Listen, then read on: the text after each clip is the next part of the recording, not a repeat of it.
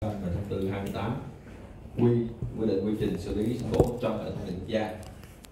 Thì à, nó là thông tư quy trình thì để các anh phải nhớ chính xác tên đó. Và thông tư 28 ngày hôm nay chúng ta đi qua thì sẽ có những cái nội dung chính sau đây.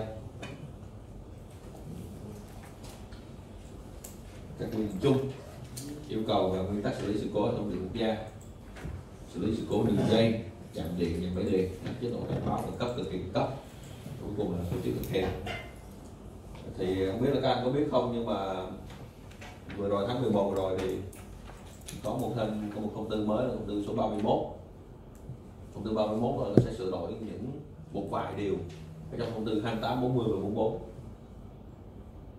ờ, một cái ngày hiệu lực cũng là ngày 3 tháng 1 rồi năm sau sẽ bắt đầu hiệu lực.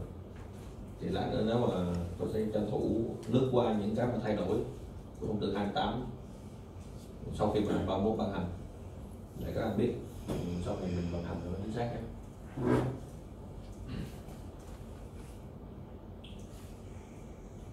đầu tiên về các quy định chung thì à, phạm vi điều chỉnh của thông tư này là mục đích đó là gì quy định những nguyên tắc và trình tự thực hiện xử lý sự cố trong hệ thống điện quốc gia nhằm nhanh chóng loại trừ khôi phục lại chế độ làm việc bình thường của hệ thống điện quốc gia nhưng là trường hợp buôn bán điện qua biên giới thì chúng ta phải có pháp luật riêng. Vì đó là một đất nước khác không thể thực hiện ờ, pháp luật của Việt Nam được. Ờ, Quá trình áp dụng thì còn những ai ạ? Tất cả chúng ta vào đây là trong vấn đề tư đúng không ạ? Điều độ quốc gia, phát điện hiện tại phân phối.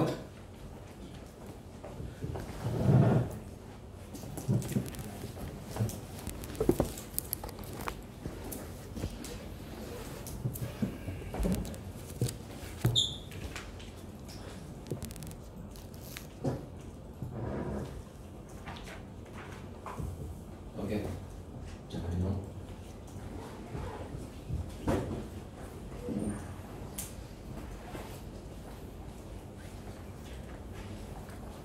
tiếp theo thì à, sẽ có một phần giải thích từ ngữ, tại vì ở đây sẽ có một số cái định nghĩa này trong những thông tư từ trước này chưa có.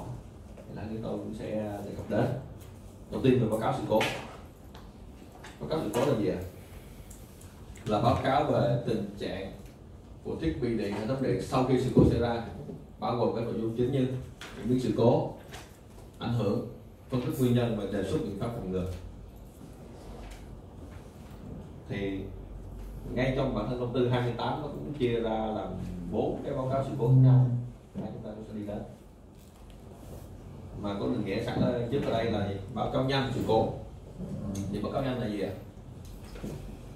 Báo cáo nhanh là được báo cáo sự cố được lọc ngay sau khi cô lọc phần tử bị sự cố và khắc phục được tình trạng, khắc phục được tạm thời tình trạng vận hành không bình thường của hệ thống điện. Do nhân viên vận hành lọc theo mẫu quy định tại phụ lục 1 nó có bốn cái phụ lục tương ứng cho một cái báo cáo trong công ty đề ra. Ờ, thì báo cáo nhanh sự cố là ví dụ như ờ, cái vụ sự cố xảy ra thì ngay sau khi ví dụ như đường dây bị sự cố cô lọc được đường dây hoặc là tái lọc được đường dây đường dây sự cố tháng qua thì đóng lại tốt thì cũng thực hiện báo cáo nhanh à, cái mẫu đó thì thì lát chúng ta sẽ đi vào sau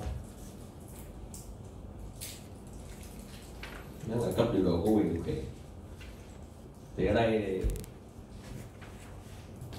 à, các anh có cả ở cấp điều độ điều khiển của các anh ở đây có cả a không đúng không ạ? A hai và a ba đúng không các anh có biết uh, a hai a ba điều khiển không? À, có biết không? Cái đó căn cứ vào đâu không? à, cần chú vào đâu? Để biết ai điều khiển thiết bị không quyết định tần số thiết bị cái đó là chủ nhất cấp điều độ có quyền kiểm tra cái này cũng lần nhắc lại thôi. Thông tư 40 cũng đề cập rồi đúng không ạ? Chế độ vận hành bình thường là chế độ vận hành có các thông số vận hành nằm trong phạm vi cho phép theo quy định tại, quy định hệ thống điện truyền tải và quy định hệ thống điện phân phối, đúng không ạ? Thế tôi hỏi các anh là có bao nhiêu chế độ vận hành tất cả?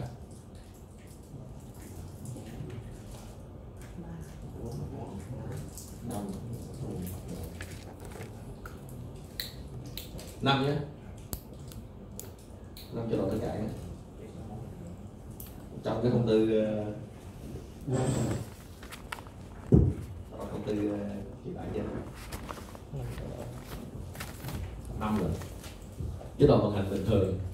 Cảnh báo khẩn cấp từ điện cấp chế độ khôi phục thôi à, ờ, là chúng ta cũng sẽ đi ngang đi qua cái phần ờ, khởi động đen và khôi phục hệ thống điện miền Nam. Dạ, và nói điều đầu biết này mình chỉ nhắc lại thôi. Không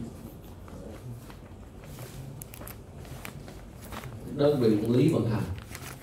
Là các anh lưu ký cái cái này từ từ đây tôi mới phát hiện ra là thực ra là rất là nhiều đơn vị không nắm vấn đề này. Tức sao? Đơn vị quản lý vận hành là tổ chức cá nhân quản lý vận hành đường dây hoặc thiết bị điện đấu nối với hệ thống điện gia. Ý tôi nói không hiểu đây là sao? Ví dụ như nhà máy các anh khi mà đầu tư mới nhà máy thì các anh có đầu tư vào đường dây nữa đúng không? Đúng không? Trung Nam Trà Vinh có đầu tư đường dây từ Trung Nam Trà Vinh đến trạm cắt không? Trạm trạm Duyên Hải không? Có. Có. Thế bây giờ ai quản lý vận hành nữa anh nào quản lý vận hành nữa đường dây. Đó. đường dây là của trà, trà, trà vinh. Tới trạm đó là của trà vinh. Trà Vinh quản lý vận hành tôi cam đoan là sao cảm thấy Trà Vinh quản lý cái đường dây 220 của anh hả? Không bên chạm mà à, truyền tải không hiện tại bốn quản lý đường dây đó anh ở nhà máy nào? Dạ nên Trà Vinh truyền tải 4 quản lý vận hành đường dây quanh ở đâu thể hiện chuyện đó? Ở đâu thẳng ở đâu nói là ông truyền tải ông đang quản lý đường dây quanh bên em là có đấu cắt là đấu cắt vô ngang lối ở D21 bên đó. Mà bên đó hiện tại là D21 đó là cái ngăn đó là giữa của thằng Cam một. Duyên Hải. Á, của Duyên Hải á. à. dạ thì đấu vô cái những cái các hàng làm hai tấm lòng chính vì đó tôi nói các anh nhầm rồi tôi nói không phải á. Cái đường dây đó nếu nếu mà ông truyền tải bốn anh có vận hành vận hành thuê cho anh á dạ đúng thì phải có một cái hợp đồng hoặc một cái biên bản là, ừ cái đường dây đó tôi quản lý vận hành cho ông Trung Nam để là khi mà cái nhiệm vụ của ông khi mà ông quản lý vận hành đó là gì ông phải bảo dưỡng sửa chữa nó đúng không trong trường hợp những sự cố tức ông phải cử người đến đúng không Đấy, nhiều, người hay nhầm lắm dòng tiếng ai quản lý vận hành đường dây quản lý là thuộc cái điều kiện có là thuê đây thuê đây một bản mới nhất chưa thuê á người ta với lại đâu các anh chữ ca mà cao không biết mình quản lý đường dây không. Thế lúc bạn giao tài sản nó nông nhận hả đó đúng không? Tại vì mấy lúc nay mình vẫn quan điểm là ở trong cái hàng rào cái sân nhà máy của mình, đúng không? Thì nó rõ ràng quá rồi. Mà bây giờ nó có đường dây nữa. Ví dụ như bây giờ cái đường dây đó, tự quản lý vận hành. Thì mà khi mà tôi cô lập cái thứ, tôi sẽ bàn giao tài sản cho ta đúng không? Đúng không? Còn các cam làm gì nhận đường dây sửa chữa gì đấy. Và chiều. Các anh có nhiệm vụ gì nữa à, các anh phải đảm bảo là không có gì sót trên cái đường dây cùng với công tác. Nó cũng chặt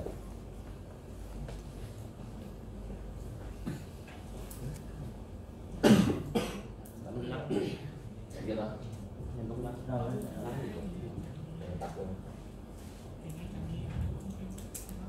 à, cái này về nha.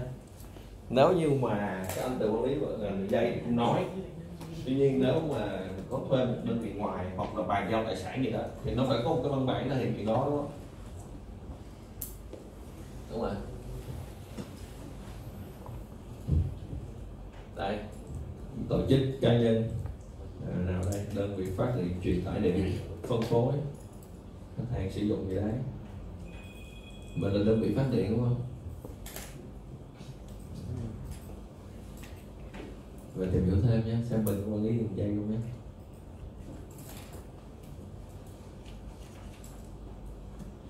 Nhảy không bằng sự cố là gì ạ là đó là hiện tượng đường dây, chạm điện hoặc thiết bị điện. Bị cắt do bảo vệ đường dây tự động tác động. Sự cố là gì? Là sự kiện một hoặc nhiều trang thiết bị trong hệ thống điện do tác động từ một hoặc nhiều nguyên nhân. Dẫn đến hoạt động không bình thường gây ngừng cấp điện không ổn định, mất an toàn các thứ.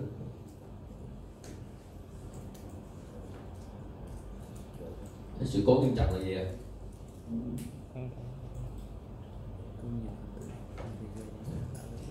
mất cả nhà máy nghiêm trọng không?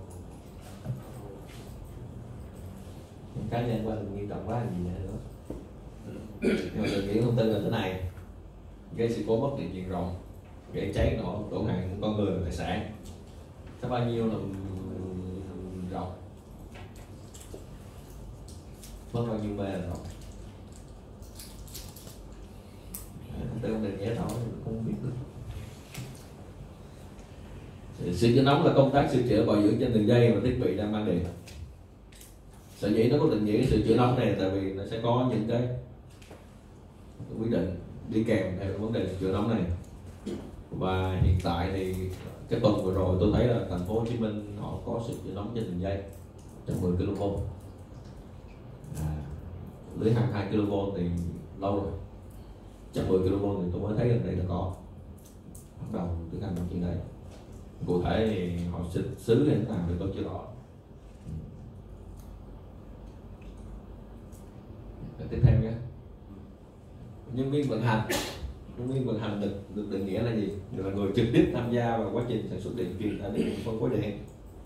Bao gồm cái chức danh sau đây. Đấy. Thao tác của lưới điện phân phối chạm điện. Là chạm biến áp, chạm cắt, chạm buộc công suất và khác.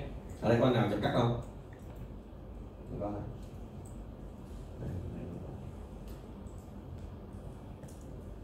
Trung tâm điều khiển là gì ạ? Là trung tâm được trang bị hệ thống cơ sở hạ tầng công nghệ thông tin viễn thông để có thể giám sát điều khiển từ xa một nhóm chập điện đường dây nhà máy điện.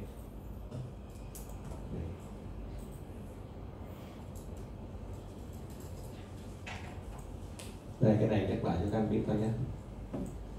Thì dụ miền bắc trung nam.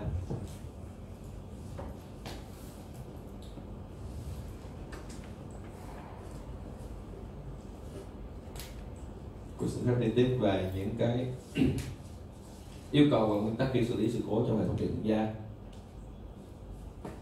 Đầu tiên là về vấn đề lập sơ đồ kết dây cơ bản. Thì cái nguyên tắc khi lập sơ đồ kết dây cơ bản là gì ạ? Là bảo an toàn cậy ổn định chất lượng kinh tế dòng ngắn mặt tính toán chọn lọc RE mẫu ba, linh hoạt và thuận tiện trong thao tác xử lý sự cố. Thì nếu như mà các anh đã vận hành thực tế thì các anh sẽ thấy là trên lưới có những cái điểm mở đúng không ạ ý là ví dụ như trạm của các anh vận hành mà hai máy cắt nhân một với một với hai chẳng hạn. Mở một với hai một với hai là bảy đúng không? Thường mở. Đó, một cái điểm mở là không. Thì để tính toán được cái điểm mở đó thì bọn tôi sẽ phải tính toán xem điểm mở nào là nó phù hợp nhất. Căn cứ theo những cái tiêu chí sau đây. Tiêu chí này nè.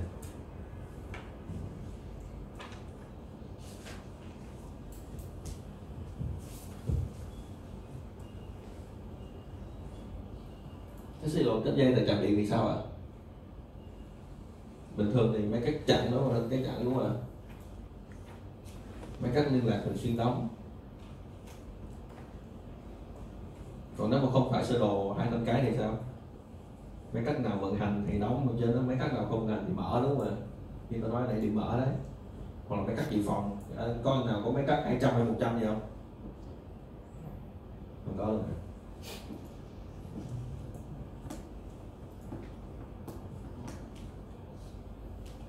Kết lưới mạch vòng hoặc mở vòng đây. Cái lưới đường truyền tải này thường là sẽ kết vận hành mạch vòng. Cái lưới 220 trở lên nè. Nhưng mà thực tế thì trong ờ, A2 của tôi thì do cái cái một vài nguyên nhân thì mình phải mở một số điểm 220 kV. Một trong những nguyên nhân đó là do dòng đẳng mạch quá cao.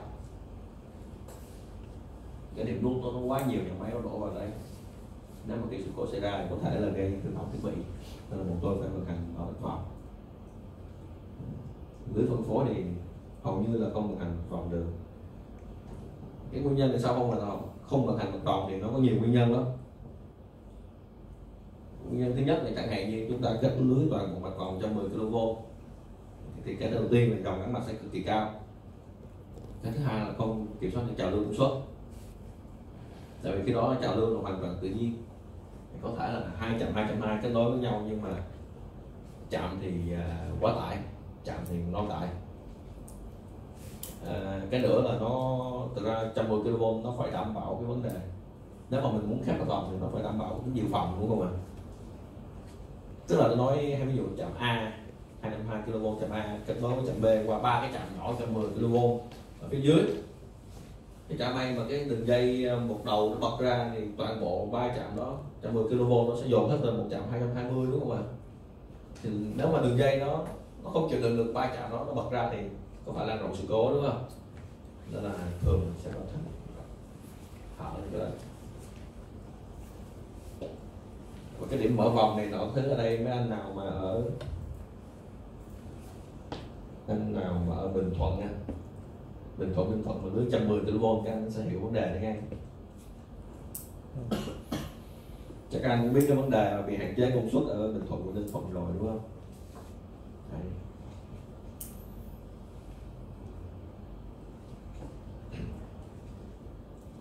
tiếp theo là phần rle ông vệ mình tự động. Yêu cầu gọi rle khi đưa thiết bị vào vận hành. Thì là sao ạ? Và chống được mọi dạng sự cố của loại trừ thời gian vắng mặt, đúng không ạ? Đây là quan trọng nhất. Chẳng hạn như cái relay nó có vấn đề gì thì sao? Trục trặc relay là bình thường, đúng không? Xử lý sao? Nó mà giải quyết được vấn đề, xử lý được cái vấn đề nhiều thứ của nó thì không nói làm gì. Tuy nhiên mà trong trường hợp mà nó tắt ra khỏi vận hành thì sao ạ? Nhưng mà đang bạn phải đảm bảo một đủ đủ mọi dạng sự cố và thời gian phải chờ đúng không? Nó không đủ thì sao? Chính là. Đúng, không cho phép vận hành là một hướng. Là chỉnh định lại trong thông tư còn bảo là gia tốc bảo vệ dự phòng các thứ. Đó là những trường hợp mà có thể là nó nó hư hỏng, mình xác định là hư hỏng lâu dài. Nó tạm thời chưa có chưa có cái để thay thế đúng không? Thì các ban hành chỉnh định lại. Nhưng mà ví dụ trong trường hợp đang vận hành đang vận hành bình thường á, mà không xử lý được ngay đó, thì tất nhiên là chúng ta sẽ không có sẵn một bản chỉnh định ở đó để mà chúng ta thay đổi, đúng không? Làm sao mà các anh luôn luôn thủ sẵn một cái bản chỉnh định relay trong trường hợp relay là hư, đúng không? Thì đơn giản là tắt ra khỏi vận hành thôi. Đúng rồi cái tôi đi trực thực tế là tôi gặp rồi. Hư phải tắt ra khỏi biết sao giờ? Chứ nếu như mà chúng ta không tắt ra chạm ngay mình đúng cái đường, cái thiết bị nó bị sự cố. Coi như không có gì để loại trừ nó hết, đúng không? Cái đèn cái cái cái cái relay chính nó sẽ không loại trừ được, đúng không? Những đèn khác, nó sẽ loại trừ. Nhưng mà thời gian loại trừ nó lâu, đúng không ạ?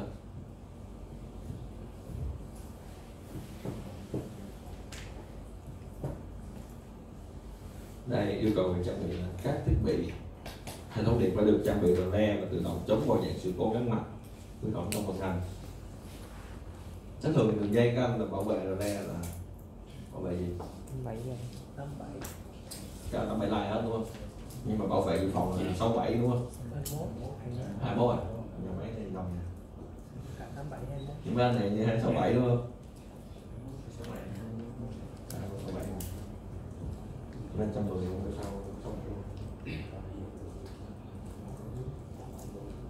người mắc lắm rồi sao?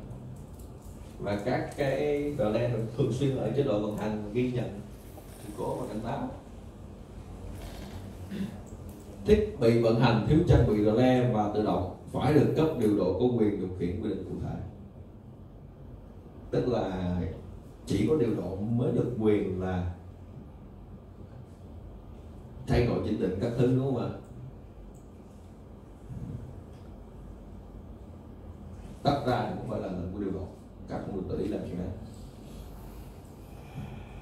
Trong trạm, nó có một cái gọi là, hồi sáng các đọc thông tin thao tác rồi, đúng không? Đúng không? Hoạch liên động á. Thì là cả lãnh đạo đơn vị, quản lý vận hành, lãnh đạo của các anh. Và điều độ được phép thay đổi nó, đúng không? Tuy nhiên cái rò le này chỉ có điều độ thôi nha. Nhớ nha không biết ngoài này thì sao, nhưng mà trong hai của tôi bây giờ là trước khi chỉ định là phải báo như nó một công tác bình thường. Đúng không cái nó thay đổi trên định le là nó trực tiếp ảnh hưởng đến cái vận hành của hệ thống này đúng không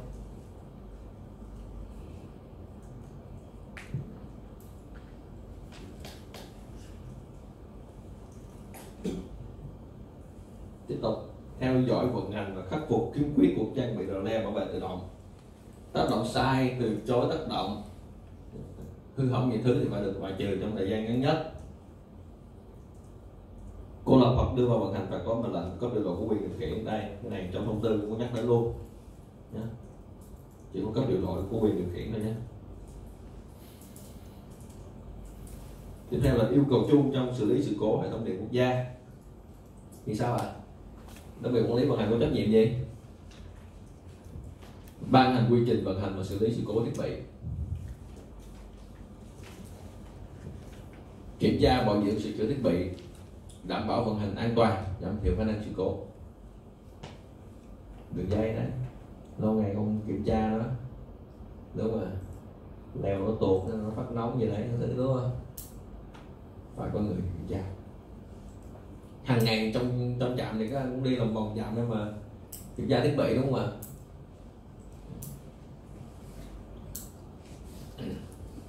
Đơn vị điều độ hệ thống điện quốc gia này có trách nhiệm gì à đó là ban hành quy trình vận hành và xử lý sự cố hệ thống điện. Tương tự thì bọn tôi cũng phải có quy trình xử lý sự cố cho hệ thống điện thuộc quyền điều khiển của mình. Và thực sự là ra bọn tôi làm cái vài cái là chứ không phải một cái tùy vào mùa, bọn tôi sẽ có những cái quy trình khác nhau. Mùa nắng nóng thì sẽ có những phương án xử lý khác so với mùa mưa đúng không?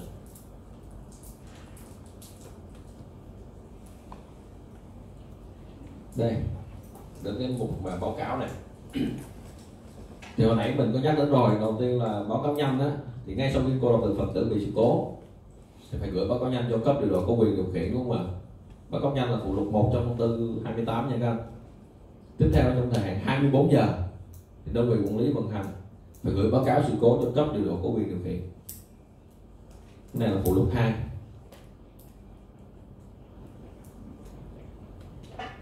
đến thời hạn 48 giờ, tức là 24 giờ sau khi sau khi sự cố xảy ra, các anh gửi báo cáo lên. Từ cái từ cái nội dung trong cái báo cáo đó, một tuần mới làm một cái báo cáo hoàn chỉnh hơn để gửi cấp điều độ của quyền kiểm tra đó là phụ lục 3 và cái cuối cùng, đó là báo cáo thông tin sự cố thì cái này là khi có yêu cầu thì mới thực hiện. Đó là phụ lục 4 trong thông tư trong dễ nhớ thôi, nhanh thì là một. 24 giờ thì là 2 48 giờ là 3 và phân tích là 4 về hình thức gửi báo cáo, thì đúng mail đó riêng cái cái báo cáo sự cố và cái báo cáo phân tích sự cố thì có thể, thể gửi bằng đường chuyển phát nhanh. 24 giờ là đủ mà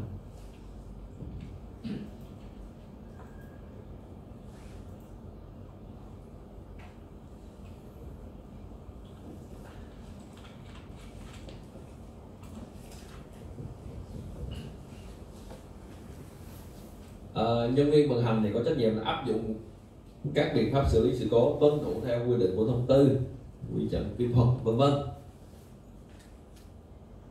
Nhưng mà sáng cũng là thông tư thao tác đúng không ạ? Mặc dù trong trường hợp sự cố, nhưng mà tất cả những cái thao tác thiết bị của mình thì vẫn phải tuân thủ theo cái thông tư thao tác chứ đúng không? Là bởi đây trong trường hợp sự cố tôi muốn thao tác tán loạn thế nào cũng được, đúng rồi thì vốn dĩ cái thông tư thao tác á, đa phần những cái nội dung trong đó là để nó bảo vệ cho cái người thao tác an toàn. Nên là trong trường hợp nào thì cũng phải tuân thủ theo nó nhé. Và và cái nguyên tắc là áp dụng để làm gì ạ? Đầu tiên là để nhanh chóng loại trừ sự cố. Ngăn ngừa sự cố lan rộng. Nhanh chóng khôi phục phụ tải cho khách hàng. Vì là cái phụ tải quan trọng. Đảm bảo chất lượng, tính năng về tần số và điện áp.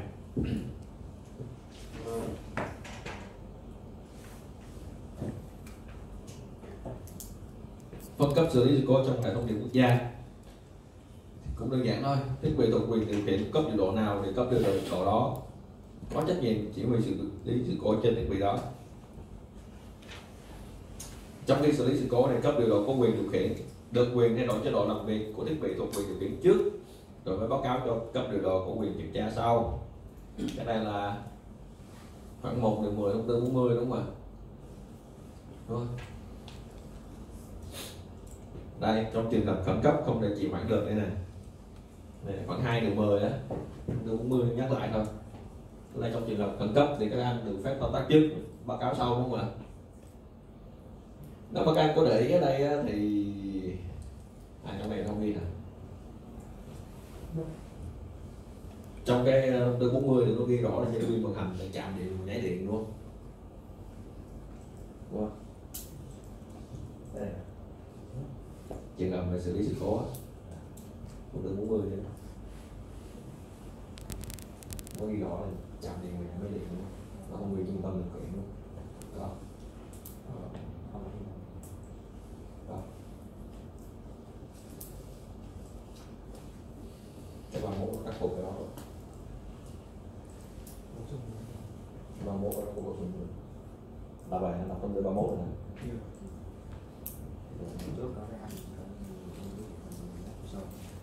anh Dũng có nói sơ qua thông tư ba mốt rồi đúng không cái phần thông tư 40 là gì phần sửa đổi thông tư 40 là gì nó có bổ sung thêm nhân viên vận hành tại trung tâm điều khiển đúng không?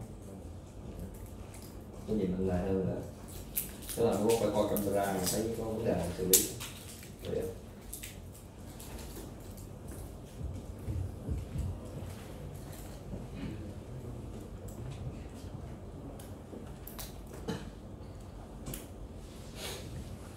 nhiệm vụ của nhân viên vận hành khi trong xử lý sự cố. Đầu tiên đó là xử lý sự cố đúng theo quy trình vận hành và xử lý sự cố của nhà máy điện, trạm điện, trung tâm điều khiển. Áp dụng mọi biện pháp cần thiết theo quy định. Mọi biện pháp cần thiết và vẫn theo quy định để ngăn ngừa sự cố lan rộng, khôi phục việc cung cấp điện cho khách hàng trong thời gian ngắn nhất ở các khu vực bị sự cố để phải báo, báo cáo kịp thời chính xác hiện tượng diễn biến sự cố cho nhân viên vận hành cấp trên trực tiếp. Ở những khu vực mà không có sự cố thì theo dõi những cái thông tác động liên quan đúng không ạ?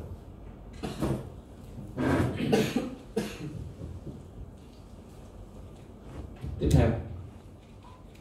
À, sau khi xử lý xong thì nhân viên vận hành cấp trên cung cấp thông tin tóm tắt về tình hình xử lý sự cố làm thay đổi chế độ vận hành bình thường của hệ thống điện thuộc quyền điều khiển của nhân viên vận hành cấp dưới, theo quy định là quyền nắm thông tin.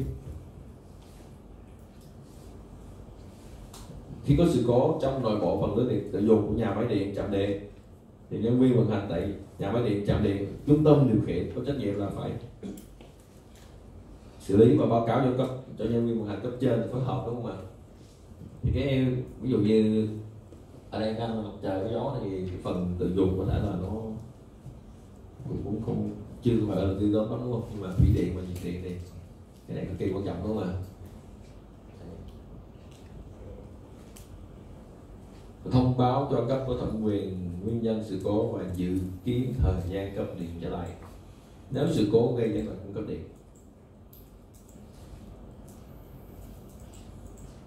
Kiểu như là cái thiết bị này bị sự cố này xử lý trong một bao lâu, đúng không? Mới tính toán, phương án này nọ thứ được, đúng không ạ?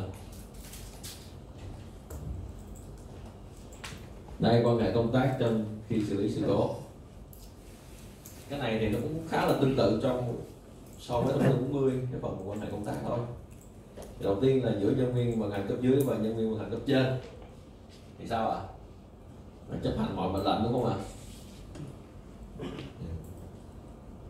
Tuy nhiên là những lệnh mà ảnh hưởng đến con người và thiết bị có quyền chưa thực hiện mà có cáo lại đúng không?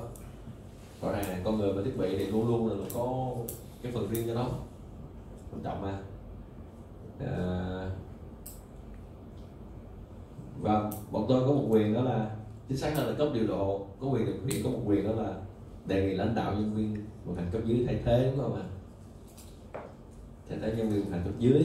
Khi mà thấy nhân viên này không đủ các năng lực vận hành các thứ đúng không? Gần đây thì cái này hay xảy ra lắm.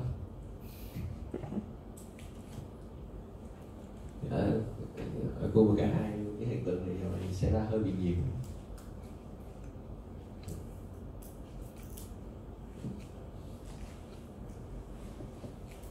Cái quan hệ công tác giữa nhân viên vận hành cấp dưới. Với nhân viên vận hành cấp trên mà lãnh đạo trực tiếp thì sao ạ? Rõ ràng với lãnh đạo thì lãnh đạo là được phép ra lệnh đúng không ạ? Sếp mình mà. Nhưng mà sao lệnh đó là không được trái với nhân viên vận hành cấp trên? Thế thì trừ trường hợp đây do con người và thiết bị. Tại vì những cái thông tin vận hành thì thật sự là các anh lãnh đạo dòng máy không khó mà nắm bằng cái người điều độ viên trực tiếp lúc đó, đúng không ạ? Tại vì những thông tin về lưới điện, hệ thống điện, thời điểm đấy thì có phải là cả nhân viên vận hành cấp trên, tức là điều độ viên ở đây đó nó sẽ nắm nhiều hơn đúng không? Tốt hơn. Thông tin liên lạc cái thứ là đưa về điều độ mà. Rồi scala cái thứ cũng đưa về hết. Tất nhiên là cái lệnh của tôi. Nó sẽ hợp lý hơn. Tuy nhiên thì có những cái trường hợp mà ảnh hưởng con người trong nội bộ của khu vực chạm như này nhà máy như này. Thì có thể là anh nhầm anh, anh giám đốc nhà máy anh sẽ biết đúng không ạ? Đây đấy ảnh được phép ra lệnh nhưng mà không được trái trong trường hợp mà anh tất nhiên là lãnh đạo mình khi thấy nhân viên vận hành cấp dưới mà không đủ năng lực thì anh là được quyền thay. Anh được quyền là chỉ định thay hoặc là anh tự nhảy bộ anh thay. Trong trường hợp mà anh tự nhảy bộ anh thay nhân viên của mình thì có yêu cầu gì không? Phải có bằng kiểm tra. À, anh cũng phải có chứng nhận vận hành nữa chứ giờ anh nhảy bộ anh thay mà không biết thao tác làm sao thì sao thay được đúng không vì thì ờ, có mình mới có chức danh là thay may thay nhân viên rầm rầm mình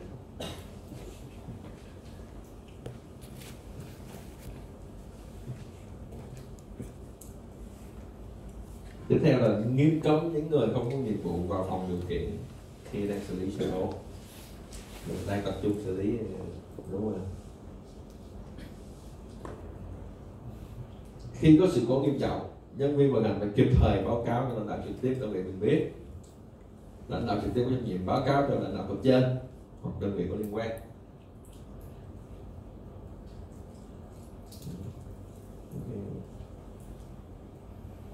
Cô lớn mà báo sếp thì sếp biết chứ. Tại vì sao? Tại vì ví dụ như ờ, sao? Chứ phải sao chứ này thoải mái gì đâu. Em chia sẻ chính mà sao? Dạ, ý là sự cố giống như là cháy máy biến áp rồi đó. Ừ có nó tội còn gì nữa báo cho sếp biết chứ à, nghiêm trọng kìa. Nãy đừng nhớ là gì nghiêm trọng là gì? Là do người hư hỏng thiết bị đúng không? Cháy cái viên áp mình thường. Mấy chục tỷ mà không báo. Mấy viên áp là bao nhiêu mà 50 mê. Đâu đâu, tiền lắm. Dạ. Máy phát là được 50 mà máy là máy 63 đúng không? 63 Hình như là 20 tỷ gì mà. Không tôi nhớ là vậy, tại vì máy à, đó đó. Đợi xem mà đấy. Thì thật ra bọn tôi, ví dụ như bọn tôi thì cũng có một cái tổng đài nhắn tin Giống như là bên tổng đài quảng cáo cái thứ á. Về tổng đài nhắn tin của bọn tôi thì khi có những sự cố nó một, mức nhất định nào đó thì bọn tôi sẽ nhắn tin đi nghiên cấp lãnh đạo cả lúc cả cao từ event rồi đến ờ, từ từ a không rồi đến tập đoàn nhắn đến cục. Có quy định sẵn là ừ, cỡ bao nhiêu bao nhiêu nhiêu thì nhắn lên. Thì chẳng may ví dụ như nó nó bộ trưởng nghe. Mình đi đâu đến ờ, đến đây? Lên chơi mất điện. Bác hỏi đầu tiên bác sẽ gọi bác hỏi ai à? Tất nhiên bác hỏi anh lãnh đạo toàn luôn. Về bác lãnh đạo toàn luôn bây giờ bảo, em chưa biết gì hết. Không ổn. Có tin nhắn vợ đây hàng ngày luôn rồi.